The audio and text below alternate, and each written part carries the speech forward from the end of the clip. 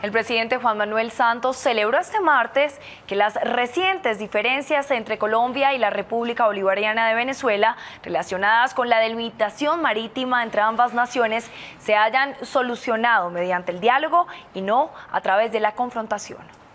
El diálogo funciona, el diálogo resuelve cualquier diferencia y la superación de manera dialogada del diferendo generado entre Colombia y Venezuela a raíz de la declaratoria de ampliación de límites marítimos de manera unilateral por parte del presidente Nicolás Maduro es una prueba de ello. El presidente Juan Manuel Santos. Lo que ha sucedido con eh, Venezuela, las noticias que recibimos anoche de Venezuela en el sentido de que se arregla este malentendido con un decreto que expidieron, lo que nos demuestra es que a través del diálogo, a través de la diplomacia, es como se resuelven los problemas. Así, Santos confirma la efectividad de la estrategia de resolución de conflictos por la vía negociada. No a través de la confrontación, no a través de los insultos.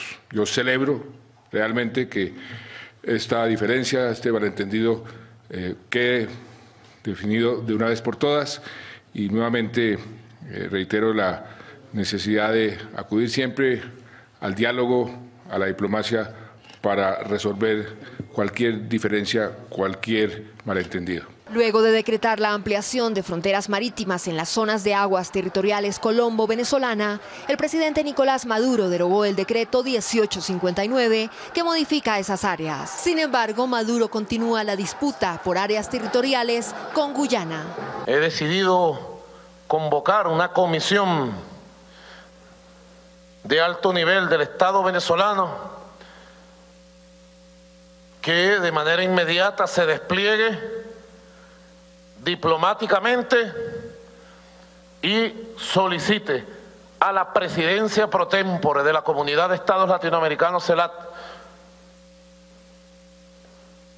en la dirección del presidente Rafael Correa, que la troika de la CELAT convoque a una reunión de diálogo entre el gobierno de Guyana y el gobierno de Venezuela con la presencia de la presidencia pro tempore.